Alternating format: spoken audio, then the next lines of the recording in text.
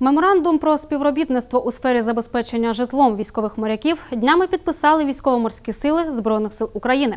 Важливий крок щодо розв'язання цього питання зробили командувач військово-морських сил Збройних сил України віце-адмірал Ігор Воронченко, голова правління обслуговуючого кооперативу Захисник України Віктор Олійник та президент міжнародного благодійного фонду Діамант України Дерек Потомсон. В документі йдеться про тристороннє партнерство та співпрацю в плані розвитку комплексної забудови житла для військовослужбовців військово-морських сил Збройних сил України і членів їх сімей, що прибули з тимчасово окупованої території Автономної Республіки Крим. Крім них, у переліку учасники АТО та члени сімей загиблих військовослужбовців. Основним напрямком співпраці на майбутнє сторони визначили комплексну забудову земельних ділянок в Одеській області, об'єктами житлово-громадського, інженерно-транспортного, соціального призначення та благоустрою.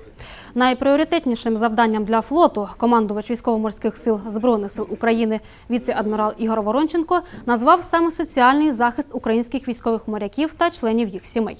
Прийнято рішення щодо просування от сумісними зусиллями для вирішення соціальних проблем, які виникли у нас ну, в цей час після анексії, під час війни.